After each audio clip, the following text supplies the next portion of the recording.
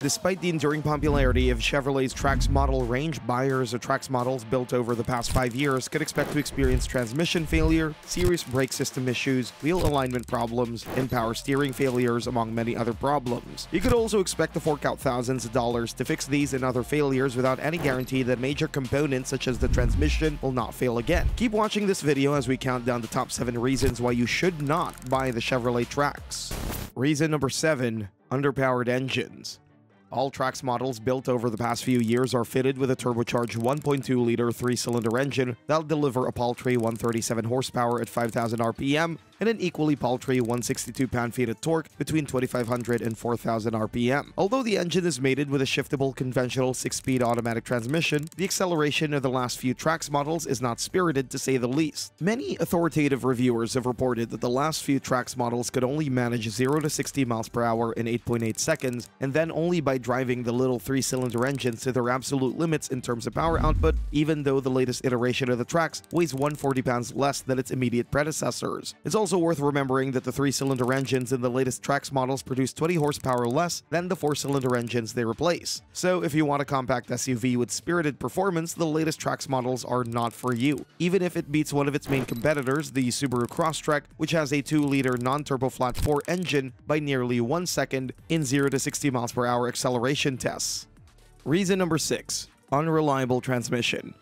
Transmission issues and even catastrophic transmission failures are so common on second-generation Trax models that they almost seem like a defining characteristic of the last few build years. If you're planning on buying any Trax model built over the past 5 years or so, bear in mind that transmission issues on these models are many and varied. Many owners have reported that the transmission often begins to lag or slip severely only after a few thousand miles of use, and in some cases, almost right from the get-go, after they took delivery of their new Trax vehicles. Other transmission issues include, but are not limited to a failure to select reverse gear, harsh or juddering gear shifts, not downshifting as expected, or sudden and unexpected catastrophic transmission failures for reasons that Chevrolet has yet to disclose to the public, or Chevrolet dealerships for that matter. While Chevrolet is obliged to replace failed or problematic transmissions on late model Trax vehicles if the vehicle is still under warranty, it's important to note that the period between the process of filing a warranty claim and a dealership actually replacing a faulty transmission can sometimes take several months, which is a major inconvenience to say the least. It's also important to note that if your Trax is not covered by the factory warranty or an extended warranty, fixing or replacing a faulty transmission could cost you between $3,000 and $6,000, which is not exactly pocket change by most standards.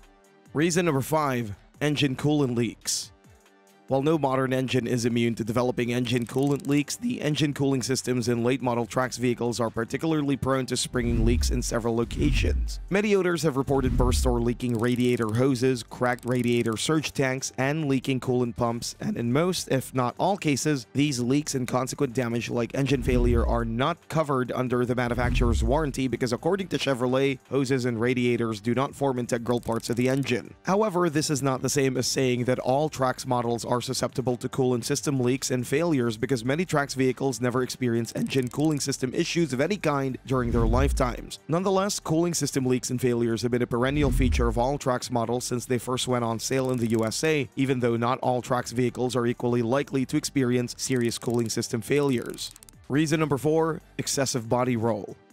Low-priced SUVs and crossovers from all manufacturers, including those made by the Trax's main competitors, tend to exhibit a sometimes uncomfortable amount of body roll when negotiating corners as a result of their high centers of gravity. However, some late-model Trax vehicles take excessive body roll to alarming heights. In fact, drivers of some Trax models have reported that it seemed as if the vehicle was about to fall over while going around corners even though they were traveling at moderate speeds and their vehicles were not overloaded, which made them feel extremely uncomfortable. Speeding and overloading are the main causes of excessive body roll on any vehicle, but in the case of some late model Trax vehicles, it turned out the Chevrolet had incorporated unsuitable springs in the suspension systems. Since the springs could not counteract the transfer of weight around corners, the affected Trax models became extremely unstable around corners, which caused a significant number of rollovers and crashes as a result of a loss of directional control. It is important to point out that not all Trax models built during the past five years are affected by excessive body roll, and in some cases, some competing small SUVs made by other manufacturers also exhibit large amounts of body roll. However, if you are shopping for a used Trax model, be sure to undertake a proper test drive that includes corners to avoid buying a Trax model that wallows around corners instead of going around corners on a relatively even keel as most compact Toyota, Kia, and Honda SUVs do comfortably.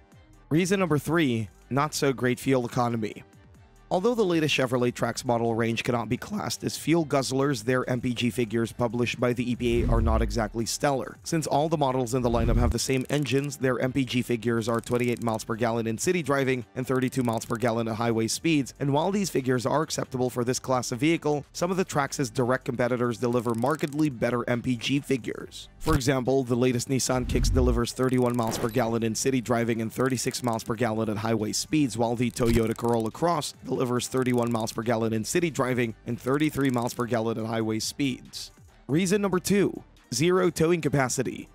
While the first generation Trax models and incidentally all of the small SUVs from competing brands have decent, if not always spectacular towing capabilities, it turns out that there's a lot of confusion about how much weight the latest second generation Trax model can tow safely or if it can tow anything at all. Doing a quick internet search will reveal a lot of conflicting information. For example, many online sources state confidently that the latest Trax model can tow up to 1,263 pounds, while some Australian-based sources state that the Holden Trax, which is how Trax models are known there, can tow 1,200 kilograms, but common sense dictates that these values cannot both be true at the same time. However, the truth is that the latest Trax model cannot tow anything at all because as Chevrolet states on page 174 of the latest Trax user's manual, the vehicle is neither designed nor intended to tow a trailer. This is borne out by the fact that Chevrolet's parts catalog does not list a tow hitch or associated hardware and wiring. So why is this important? It's important because many owners of compact SUVs depend on their vehicle's towing capacity to support their lifestyles. Many people tow trailers loaded with motorcycles, jet skis, small all-terrain vehicles, and the like to competitions or just to enjoy a day out in nature. But as stated by Chevrolet, they can't do that with the latest Trax model. Worse though, fitting an unauthorized third-party tow hitch will void a second-generation Trax's factory warranty. I mean, sure, many potential buyers of the latest Trax models neither want nor need tow trailers, but if a vehicle's towing capacity is important to you, you'd be better served by considering some of the many comparable compact SUVs from a variety of competing manufacturers. Number 1. Pricing and value for money. Pricing for the latest Trax 5 model lineup starts at $21,495 for the entry LS model and rises to $24,995 for the top-of-the-line Activ model. Although these price points compare favorably with its competitors, are you really getting value for your money given the Trax brand's inherent and well-documented poor reliability? While none of the competing compact SUVs in the Toyota, Kia, Honda, and Subaru stables is entirely free of faults and defects, none of these models suffer the same failures and malfunctions at the same rate that most models in the Chevrolet brand do. Some of these failures are recorded in the National Highway Traffic Safety Administration's database and they include but are not limited to sudden and unexplained brake failure, unexpected loss of power steering assistance, sudden transmission failure, and electrical failures that often immobilize the vehicle. If one adds to this the lack of an all-wheel drive option that is available in many of the Trax's direct competitors such as the Ford Escape, Kia Sportage, and 2024 Mazda CX-5 among many others, it becomes clear that Chevrolet's Trax brand is for die-hard Trax fans only. Thanks for watching and see you next time.